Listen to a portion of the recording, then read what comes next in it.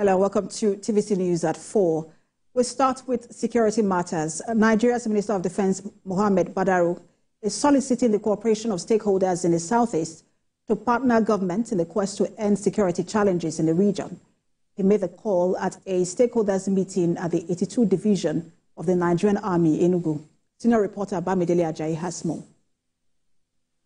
It is an inspiring moment having various security operatives from the five southeast states and Cross River in this hall.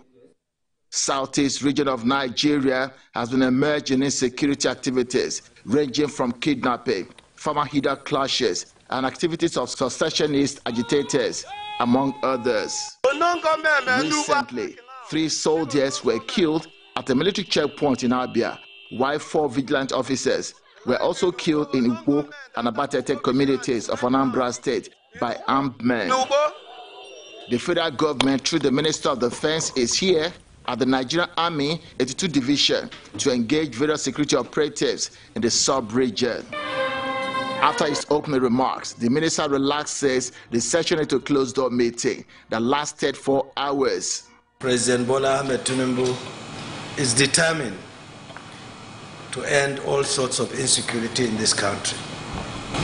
Rising from the meeting, the minister expressed hope that the outcome will involve a new dawn for security activities in the southeast region. It was robust discussions. A lot of uh, advices were proper.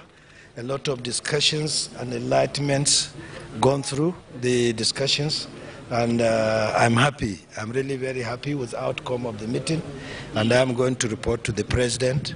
I am part of this meeting. I can tell you that it's very instructive. It has brought out the best of us because we openly spoke to ourselves, spoke to the minister. Indeed, this is the first of its kind for the Igbo youths to participate in such a paramount and sensitive engagement. I can assure you going forward, impact shall be maximized.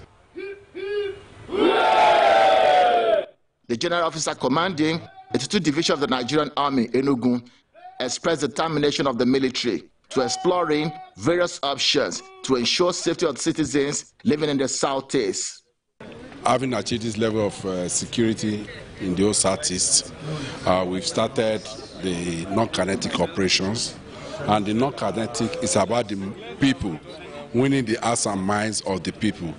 The meeting of head of security agencies, traditional rulers, religious organizations, civil society organizations, even Ohanaeze Ndigbo worldwide in the southeast, with the Nigerian Minister of Defense, was to devise a lasting solution to security challenges in the sub-region of Nigeria. Bamidele Ajayi, TVC News, Enugu.